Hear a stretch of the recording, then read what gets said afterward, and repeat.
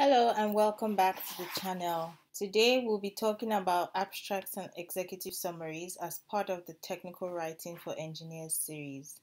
So if you would like to learn more about crafting concise summaries in technical reports, please keep on watching. So today we'll be discussing abstracts, executive summaries, and we'll be highlighting the differences between abstracts and executive summaries, as well as strategies for crafting both abstracts and executive summaries. So, what are abstracts? Abstracts are um, a summary or highlights of a report, and it helps the reader to basically make a decision on if they're going to read the entire report. So, you if you typically have read a sort of research journal, you would see an abstract um, of the of the journal of, of the research paper in a journal, and basically what it does is to help you decide if you need to go further and read if it would contain information um, that you're looking for if you and if you should go further to read more about it in the main body of the report. So sometimes it could also be published independently from the document. So it's important to ensure that you know the abstract contains enough information that can be used um, to make that to help the reader make that decision. And we'll look more at, uh, at an example um, in a short while. Executive summaries are also very, very similar. The thing is that for executive summaries, they are just the first section of a longer report. So typically, they can't be detached. Um, they are they are typically not detached from the main report.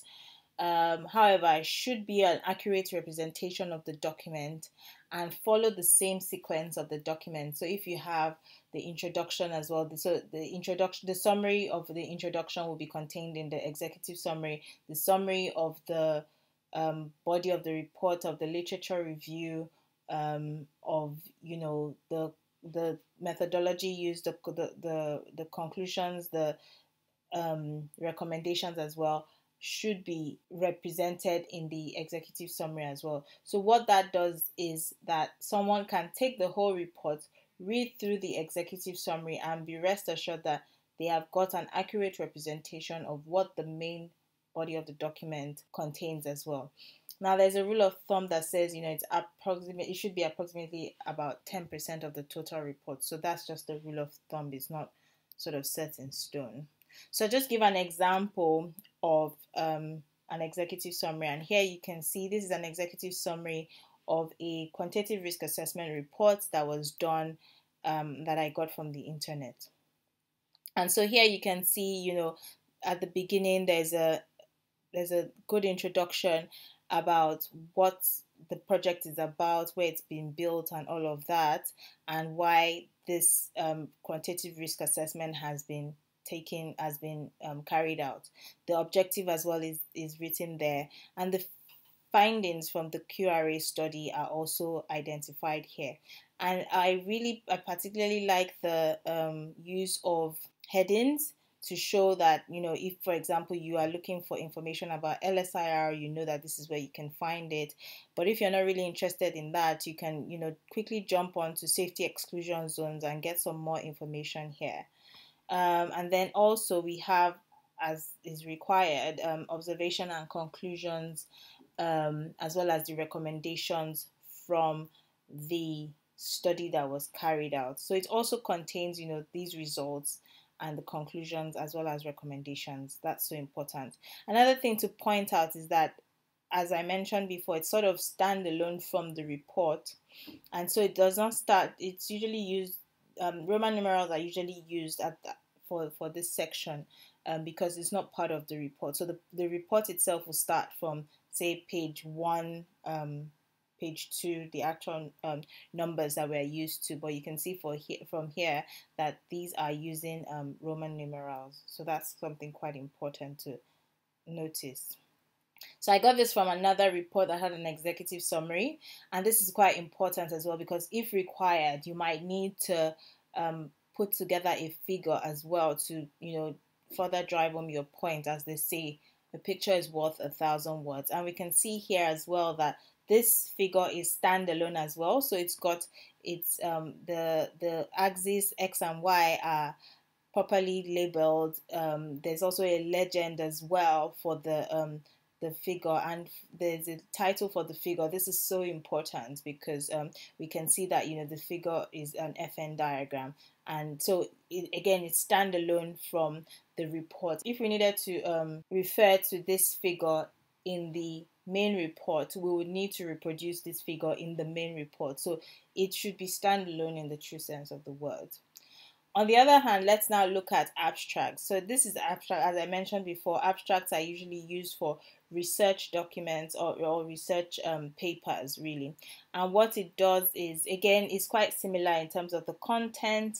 Um, it gives you a good understanding of um, the content of this um, paper. So we can see from this, this paper, from this abstract here, that the paper is on methanol synthesis from CO2 hydrogenation and using supported catalysts. So it's telling us, you know, that's the introduction. This is the main body of which, um, the main umbrella under which, you know, the research has then been carried out.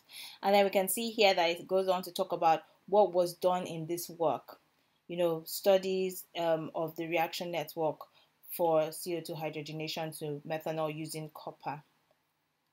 It's also tells us about you know the calculation results what we can see from the calculation results. And you know goes on here to talk about the the conclusions that have been made from this report and what you know the results of this research um, has um, um, clearly demonstrate. So this is just really important. Another outstanding um, feature of an abstract is that it has keywords and also this is quite important. So um, because we are talking about methanol synthesis here we're talking about CO2 here where there's um some there's it's on also on the topic of density functional theory and it's a reaction it's a research based on reaction mechanisms as well. These keywords are very important for us to be able to identify this abstract. So if you are searching on an online database, for example, this will definitely come up if you search for methanol synthesis or carbon dioxide. So it's quite important, you know, to have these um, in place and to have it as a to to ensure that your abstract, you know, grabs the attention of the reader and um, especially for someone that's looking for the information that is contained in that research paper or in that um, article. So if we go on to the tips and guidelines that we can use for that. So in as much as the executive summary or the abstract is at the beginning of the report, it's actually written after the document is completed so that it shows it gives an accurate representation as you said for both abstracts and executive summaries they are an accurate representation of the main document and so it's important to write that as the last step even though it comes up um, first in the um, logical sequence of the report. It's also important to use terminology that is familiar to the audience. So you don't want to use, you know, terminology that doesn't that the audience cannot con- con- connect with. That's so important. Let's also be mindful of abbreviations and symbols. So if we use any abbreviations, we need to ensure that they are adequately, you know, um, written out in full before we then use them in the in in the um, abstract or in the summaries as well. And any symbols, you know, if you say temperature T or pressure P, you know, to ensure that that's that's um, that conveys the right message to the reader. It should be concise and clear. So, for example, for um, for abstracts, if you're submitting it to a journal, sometimes they have a word count, and so it's important for you to make sure that every word counts. Basically, um, every every word matters. So you need to be sure that you know you can say things in as concise a manner as possible.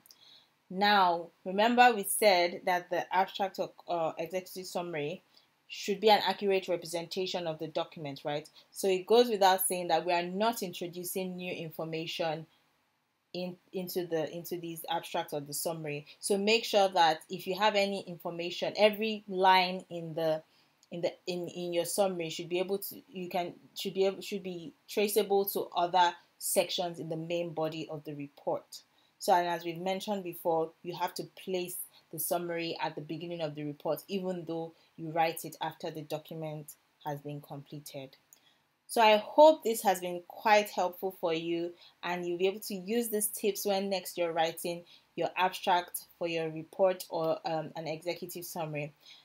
Please don't forget to ask any questions or leave a comment below and let me know any other information you would need on abstracts or summaries or in general about technical writing. Don't forget to like, share, and subscribe to the channel as well. It's really helpful and it's really encouraging. So please try to like, um, share, and subscribe. And thank you for watching, and I'll see you in the next video.